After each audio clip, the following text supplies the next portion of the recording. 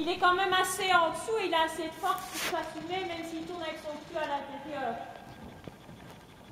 Voilà, très bien. Regarde déjà le postérieur en dessous.